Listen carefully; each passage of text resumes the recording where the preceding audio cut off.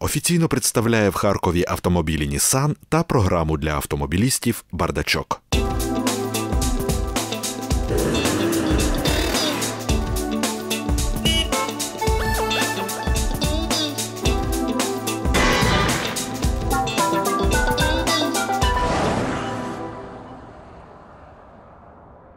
Програма виходить за підтримки фірми Мегатранс, офіційного імпортера автомобілів Самант. Страховий партнер програми Бардачок Харківська муніципальна страхова компанія. Ми повертаємо витрачені гроші. Здравствуйте, уважаемые телезрители! Вы смотрите очередной выпуск программы для автомобилистов «Бардачок». И на ваших экранах снова я, Александр Трепетин. Теплая апрельская погода способствует резкой интенсификации дорожных работ. Помимо прочего, на городских улицах стала обновляться и разметка. Однако, по-моему, назвать это обновлением будет неправильно, ибо к нанесению линий в этот раз дорожники подошли творчески.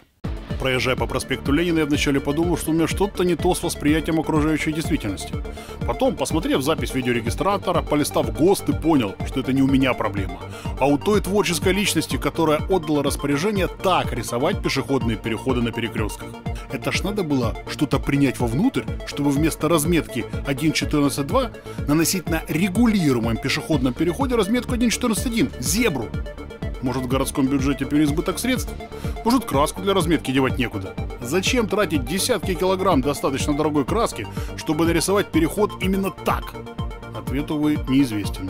На всякий случай для ответственных товарищей, поленившихся заглянуть в первоисточник, процитирую ДСТУ 2587-2010. Разметку 1.14.1 используют для обозначения нерегулируемых пешеходных переходов. Повторяю, нерегулируемых а на перекрестках проспекта Ленина переходы регулируемые, так как движение по ним регулируется светофором. Разница принципиальная.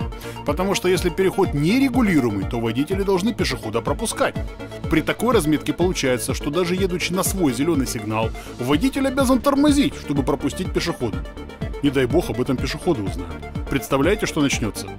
Лучше не представляете. Похоже, известные последствия принуждения к отправлению религиозных обрядов человеком с низким уровнем интеллектуального развития, ну, в смысле заставить дурака Богу молиться, в данном случае могут привести не только к разбитому лбу, только это еще не все. Наши дорожники, наносящие разметку, сумели придумать и воплотить в жизнь еще один перл, доселе невиданный на просторах страны. В этот раз неудержимый творческий энтузиазм обрушился на нерегулируемые переходы. Простой зебры кому-то показалось мало, и перед ней добавилась стоп-линия. Сей факт меня окончательно убедил, что автор данного произведения прикладного искусства в своей жизни в лучшем случае только посмотрел картинки в правилах дорожного движения. Увидел подпись к одной из них «Стоп-линия» и решил, что только этот незамысловатый орнамент заставит водителей тормозить перед переходом. Лучше бы он Камасутру посмотрел, толку было больше. Специально для таких знатоков ПДД цитата. Разметка 1.12 стоп-линия указывает место, где водитель должен остановиться при наличии знака 2.2, либо при сигнале светофора или регулировщика, запрещающего движение. Конец цитаты. Никакой из пунктов правил не обязывает водителя реагировать на данную линию при отсутствии вышеназванных обстоятельств. Нигде в ПДД не сказано, на каком расстоянии от перехода должен остановиться автомобиль, пропуская пешеходов. Чем смысл такого художества, непонятно. Только вводит автомобилистов в заблуждение. Вот тот же перекресток Шевченко-Белгородского спуска. Вот новая разметка, вот знак 2.2 стоп. Теперь получается, что водитель, увидев знак, должен остановиться перед переходом? Бред. Но именно это требование заложено в сочетании знака и разметки. К счастью, наши водители просто не обращают внимания на идиотское новшество и обходятся без сюрпризов. А представляете, какая реакция будет на сей оксюмарон у дисциплинированного европейца, если его занесет нелегкая на футбольный чемпионат наших края на автомобиле? Хотелось бы понаблюдать. Со стороны, разумеется. Новшество от Моторно-транспортного страхового бюро Украины. Эта организация, контролирующая рынок автострахования, решилась на необычный шаг – опубликовать свою оценку деятельности компаний в этой сфере – МТСБУ решил обратить внимание водителей на страховые компании, полисы которых они покупают, и решить давно наболевшую проблему автогражданки. Из-за того, что страхуется не держатель полиса, а пострадавшая в аварии сторона, автолюбители редко задумываются над выбором компании и просто покупают самые дешевые полисы. В итоге работа большинства компаний сводится к банальному демпингу, а не к адекватному обслуживанию клиентов. Страховые тотально занижают размеры компенсации и затягивают сроки их выплат. На страховом рынке участились случаи массового невыполнения своих обязательств компаниями и в первую очередь крупными системными страховщиками. Моторно-транспортное бюро решило ежеквартально публиковать информацию о финансовом состоянии участников рынка и о выполнении ими своих обязательств перед клиентами и партнерами. Работа страховых компаний по автогражданке оценивалась по следующим параметрам. Финансовому состоянию компании, количеству жалоб от клиентов, потерпевших и от других страховых, а также по качеству регулирования убытков. Последний критерий отражает время, за которое страховые компании рассматривают заявления потерпевших и выплачивают возмещение.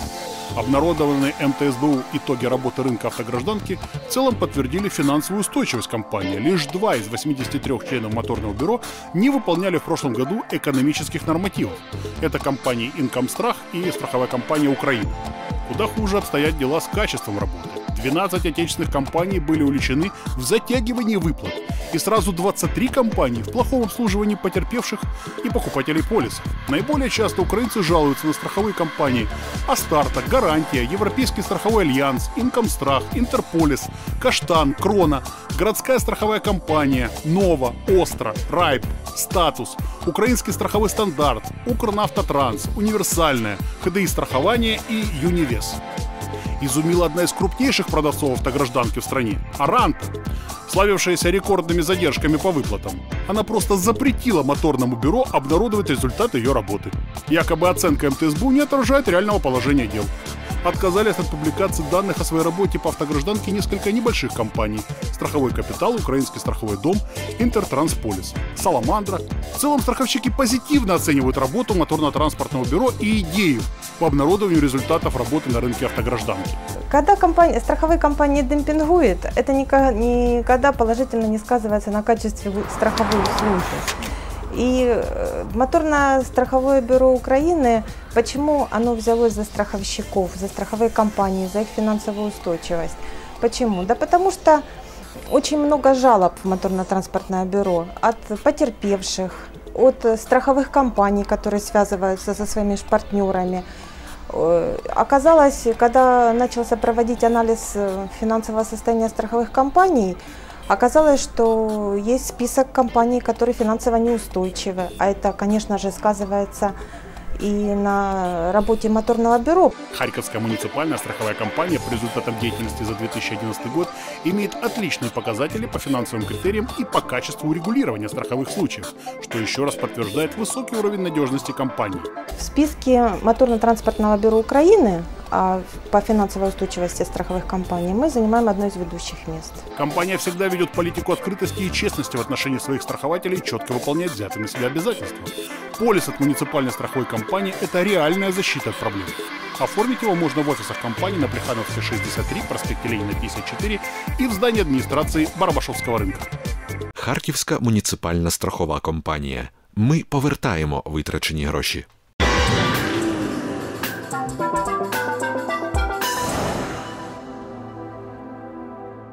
Апрель месяц богат на автомобильные юбилеи. Вот и компания Volvo отметилась. Ровно 85 лет назад из ворот фабрики в шведском городе Гетеборге выехал первый автомобиль этой марки – в начале прошлого века в Швеции число автомобильных компаний было незначительным. Многие пытались наладить сборку автомобилей, но вскоре были вынуждены отказаться от этой деятельности. Как повествует книга Volvo Cars, история Volvo начинается с июня 1924 года, когда Ассар Габриэльсон, будущий управляющий и директор марки, случайно встретился в кафе с бывшим сокурсником по колледжу Густавом Ларсоном, который впоследствии станет техническим директором Volvo тот день в кафе они недолго беседовали, и Габриэльсон предложил идею о создании предприятия по выпуску автомобилей. Молодое предприятие поначалу было дочерним подразделением СКФ. Благодаря настойчивости Асара Габриэльсона фирма СКФ выделила деньги на производство, а название подшипника стало маркой будущих автомобилей. Volvo в переводе с латыни означает «я качусь». Первый серийный автомобиль появился на свет 14 апреля 27 года и назывался он ОВ-4, а прозвище его было Яков потому что идея о производстве автомобиля была озвучена в летний день, называющийся в шведском календаре День Якоба. Двигатель якобы имел мощность 28 лошадиных сил и разгонял автомобиль до скорости 90 км в час, что совсем неплохо для того времени. С Якобом вышел курьезный случай. Утром 14 апреля, перед тем, как автомобиль должен был быть представлен прессе, инженер Карлбек решил на всякий случай проверить машину. Обнаружилось, что он может ехать только назад. Сборщики напортачили с редуктором задней оси. Дело в том, что последние детали, необходимые для сборки автомобиля, прибыли только накануне вечером, и те, кто отвечал за сборку, провели не самую легкую ночь, готовя автомобиль к показу. Впрочем, все решили, что это хороший знак, теперь движение будет только вперед. Кстати, эмблема Volvo, круг со стрелкой по диагонали вверх и вправо, это античный символ железа, символ непобедимого римского бога войны Марса. Также он изображает щит и копье, эмблема надежности, долговечности, качества. А диагональная полоса выполнила раньше определенную функцию, удерживала логотип на решетке радиатора. Позже она превратилась просто в декоративный элемент. Первый автомобиль фирмы дал начало целому семейству легковых моделей, а также грузовиков. Компания сделала ставку на коммерческий транспорт и не прогадала. С 1931 года Volvo лидирует в Европе по выпуску тяжелых грузовых авто. Легковое подразделение тоже не подкачало. Машины пользовались популярностью и хорошо продавались, несмотря даже на мировой кризис. В 1935 году появилась модель PV-36, так называемый обтекаемый автомобиль. Для Европы тогда это была диковинка. Более дешевая версия этого авто, PV51, была признана первым по-настоящему народным шведским авто. Хоть машина и стоила больше, чем аналогичные модели конкурентов, покупатели согласны были платить больше за качество Volvo. Как и для других компаний, переломом в истории фирмы стала Вторая мировая война. Переключившись на военную продукцию, в частности газогенераторы, инженеры Volvo не оставляли гражданских разработок. В 1944 году на публике впервые предстала модель PV444. А 1949 год стал первым годом с начала деятельности, когда, наконец, Volvo произвела больше легковых автомобилей, чем грузовиков и автобусов.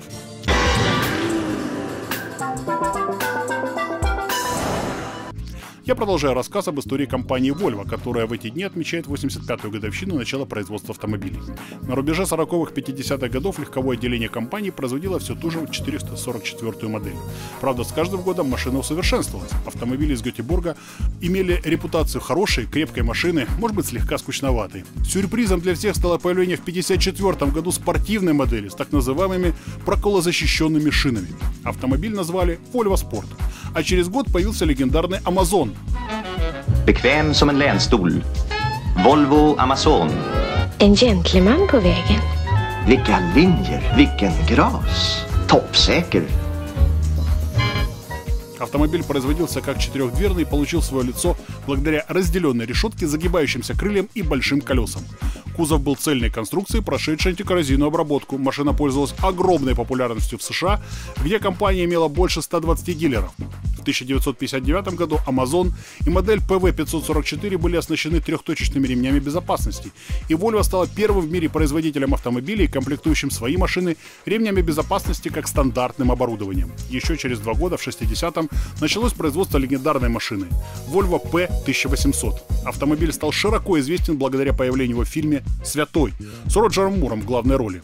В 1964 году на автомобиле компании начали устанавливать новые передние сиденья, которые были разработаны при сотрудничестве с медицинскими экспертами и поддерживали осанку водителей и пассажиров в правильном положении, что являлось очень важным фактором для безопасности движения.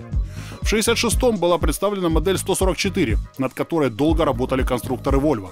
Эта машина была новым словом в плане безопасности. У нее были все дисковые тормоза, складная рулевая колонка, новые замки на трехточечных ремнях безопасности, кузов имел энергопоглощающие сминаемые части, спереди и сзади. Даже замки дверей имели безопасный дизайн. 144 модель также ознаменовала появление диагонально разделенной двухконтурной тормозной системы. Серия 140 начала новую систему обозначений Volvo. Первая цифра была номером модели, вторая – количеством цилиндров, третья – количеством дверей.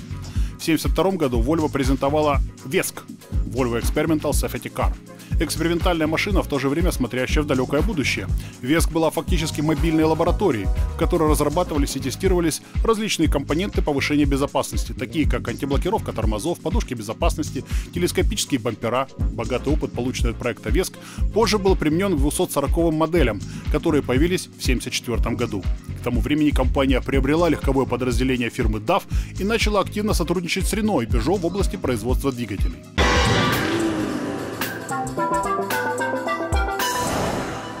Я снова возвращаюсь к истории автомобилей Volvo, которые в середине 70-х стали официально признанными эталонами безопасности.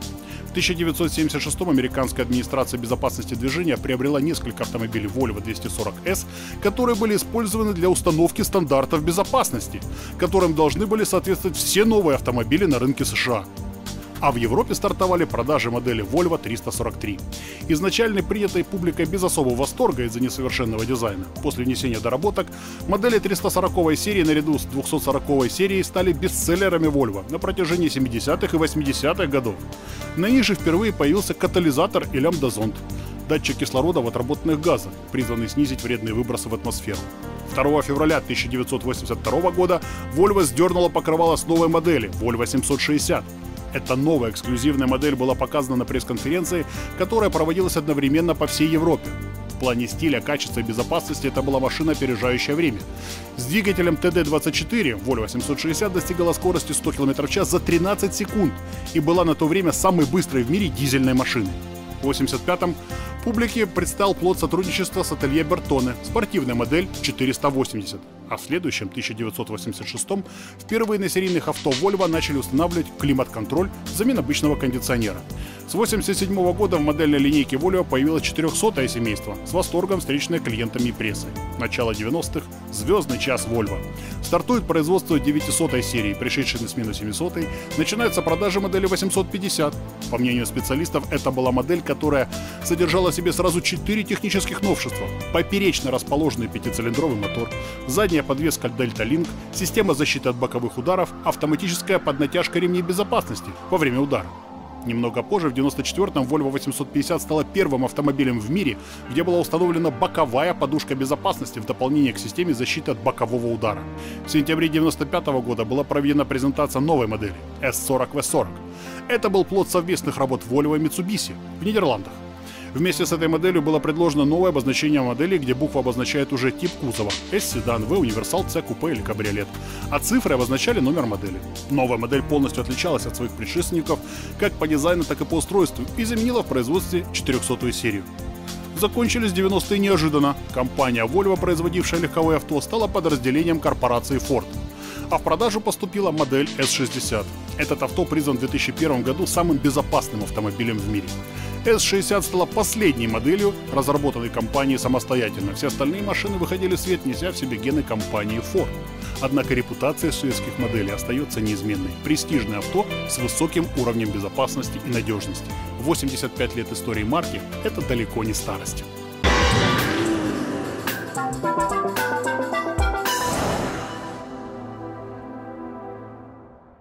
Вот и все на сегодня. Очередной выпуск «Бардачка» подошел к концу, и мы расстаемся, как обычно, на неделю. Не забудьте включить ваш телевизор на наш канал в это же время. Ну а пока я, Александр Трепетин, прощаюсь с вами. Всего вам доброго, ни гвоздя вам, ни жезла.